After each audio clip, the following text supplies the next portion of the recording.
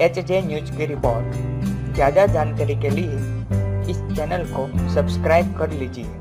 आप अपने घर में छोटे बच्चों को गुब्बारा खेलने दे रहे हो तो सावधान हो जाए। ये घटना नासिक के हनुमान चौक परिसर में घटी है।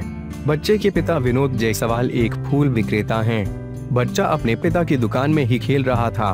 पिता अपने बच्चे को संभाल भी रहे थे और दुकान का काम भी देख रहे थे। बच्चा अपने पिता के साथ काफ़ी किलकारी मार के खेल रहा था। बच्चे को खुश करने के लिए और मन बहलाने के लिए सामने से गुजर रहे एक गुब्बारे वाले से गुब्बारा खरीद कर पिता ने बच्चे को दिया। बच्चा गुब्बारा पाकर काफ़ी खुश था और गुब्बारे से काफ़ी समय से खेल रहा था। गुब्बारे से खेलते खेलते जब काफ़ी समय हो गया तो गुब्बारा फूट गया, तब भी पिता का ध्यान नहीं था। उसी गुब्बार को बच्चे ने मुँह में डाल लिया। कुछ देर बाद बच्चे ने गुब्बारा अंदर निकल लिया।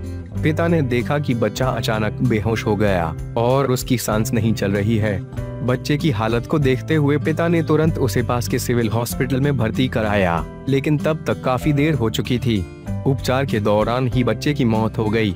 बच्चे की मौत से परिवार के ऊपर दुखों का पहाड़ टूट पड़ा है।